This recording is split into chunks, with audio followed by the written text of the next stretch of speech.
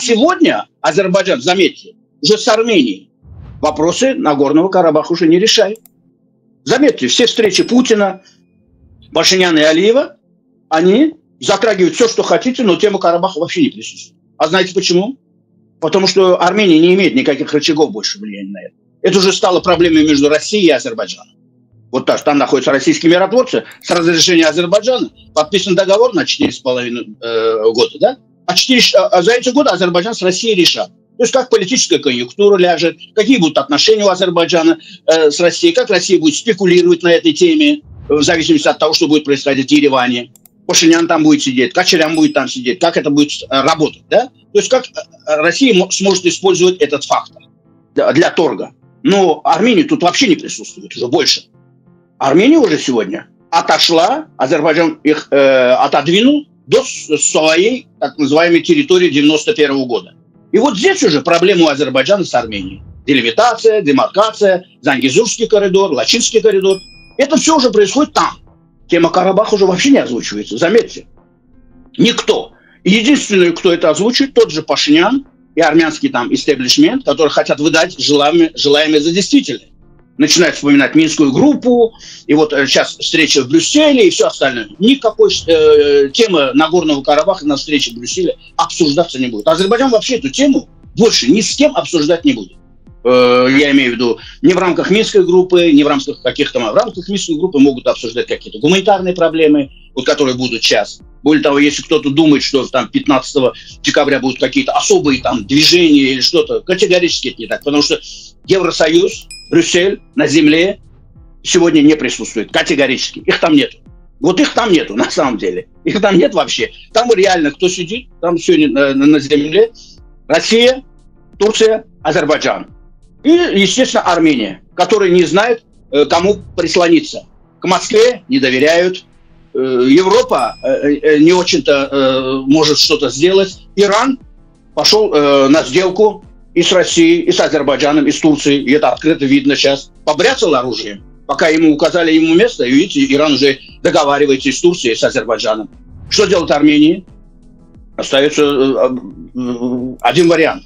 Или же идти на конфронтацию. Кто за вас спишется? Никто. Значит, вы потеряете еще больше.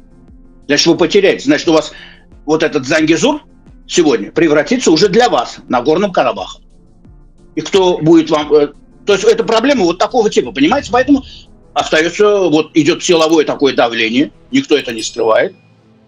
Занимайтесь делимитацией, демаркацией, признавайте территориальную целостность, открывайте коридоры и давайте делайте деньги. Забудьте об этом, потому что этого уже не будет. Никто вам э, тему Карабах сегодня на стол не поставит, потому что там ничего такого не происходит. Там нет никаких этнических чисток, армяне там 25-30 тысяч, да, они живут под охраной тех же российских солдат. Хотя они хотят все уехать. И они, если там российских солдат не будет, они за один день все уедут. Никто там жить в такой обстановке жить не хочет. Или же должен быть мир. Если вы хотите, чтобы там был мир, вы должны пойти на этот мир, да, с Азербайджаном. Вам предлагают. Вы и хотите идти на конфронтацию, ради бога. А и более того, они же идут на конфронтацию с Россией в этом вопросе, да. А чем это может закончиться? Завтра Россия может сказать, хорошо, вы не, не любите Россию, у вас антироссийские настроения, а у нас договор с Азербайджаном вот на такой, мы уходим отсюда. За день до этого, когда они об этом заявят, там ни одного армянина не останется. И все, спокойно они уходят, а, а они сдают эту территорию Азербайджану. Потому что по юридическим всем документам это территория Азербайджана. Ну, армяне не захотели там жить. Не захотели уехать. Кто захочет, останется. Вопрос может быть и так решен. Или вы думаете, что кто-то туда войска ведет? Кто? На основании какого юридического документа? На основании какого решения? Что Совет Безопасности даст это решение? Это не, не Югославия. Юридически здесь все э, на стороне Азербайджана. Я уже не говорю о том, что военно-технически Азербайджан уже к этому долго готовился. Вот и Грузия, вот и Украина, вот когда я говорю про многовекторность, вот так должны подготавливаться. И политически, и в первую очередь военно-технически. Я вижу, например, сегодня, я, вы меня спросите, я сторонник мира вот сегодня. Ну, ежели не понимает кто-то, как мне его убедить? Я должен ему показать силу. Я должен ему показать силу, потому что он должен знать, что он потеряет. Что он потеряет намного больше. Вот э, э, за 44-дневную войну Пашиняну четко говорили, да, ему один раз предложили, два раза предложили, не пошел же на сделку. То есть, значит, надо было тебя так наказать, чтобы ты был согласен. И уже когда уже Фанкянди надо было взять, а там было в окружении огромное количество этих а, армянских солдат, то есть вот тогда э, он прекрасно понял, что это вообще, да, тогда э, здесь тема закончится не только э, на Горном Карабахе, эта тема закончится и частью Армении. То есть уже ситуация поменяется. Остановиться на том, на чем они остановились.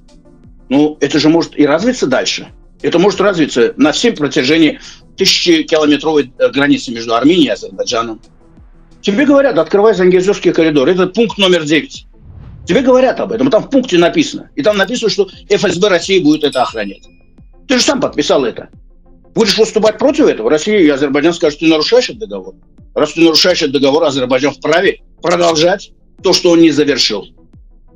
Кто ему слово скажет? Ты сам отказываешься от своей подписи. Лачинский коридор автоматически закроется. И ты мало того, что Лачинский коридор закроется, не будешь иметь вообще никакого контакта.